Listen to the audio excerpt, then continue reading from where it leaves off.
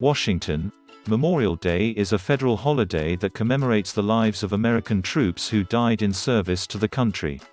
While lawmakers across Washington observed the holiday through tribute services and eulogizing statements, many lawmakers who are military veterans gave especially empathic reflections. There are currently 91 veteran members of Congress, including 17 senators and 74 members of the House of Representatives. As with the broader population, the number of veterans in Congress has declined in the decades after the draft was eliminated after the Vietnam War. That decline, the result of an increasingly professionalized military, has also meant that the burden of U.S. wars has fallen on a shrinking number of American families. Veteran lawmakers are among the highest profile advocates for armed service members and their families. Many took this year's Memorial Day to again address issues specific to the lived experience of millions of Americans, and their own. Senator Tammy Duckworth, D. Ill, served in the United States Army for 23 years before retiring in 2014. She was deployed to Iraq in 2004, where she lost her legs and partial use of her right arm after an RPG hit her helicopter. Duckworth shared a message Monday, saying that Memorial Day is a somber reminder that wars are not fought by faceless, nameless troops.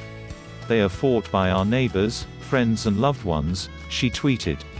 May we never stop working to repay those who never made it home and the families who have suffered this unimaginable loss.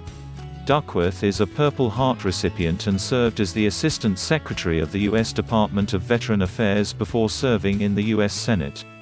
In honor of Memorial Day, Representative Dan Crenshaw, R. Texas, wrote an op-ed for Fox News, tweeting to celebrate the lives of the fallen today, and take a moment to understand that, for some families, Memorial Day never really ends.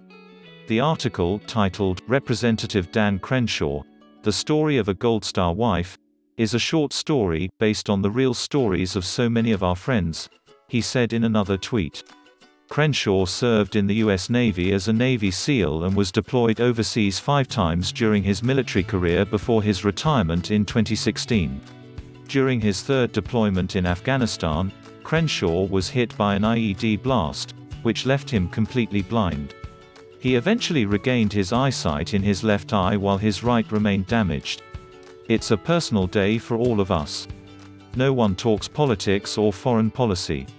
No one gets riled up because others just don't care enough about the significance of the day, Crenshaw tweeted. We just toast to the fallen, as they would have wanted us to. Representative Jason Crow, D. Colo, completed three combat tours in Iraq and Afghanistan. On this year's Memorial Day, Crow took the opportunity to again push for a monument on the National Mall to the service members who died in the War on Terror.